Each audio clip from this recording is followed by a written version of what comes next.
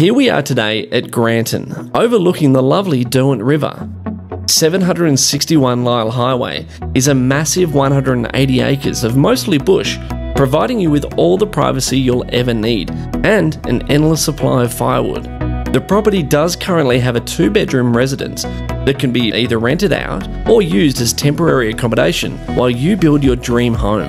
And while we're on the subject of building, take a look at this huge levelled building site. If you think this site is too close to the road, there are at least two other ideal locations just up the hill where the views are absolutely magnificent and go on for miles.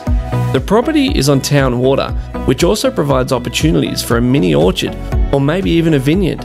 So if you're after privacy and views, you really should call and arrange a grand tour.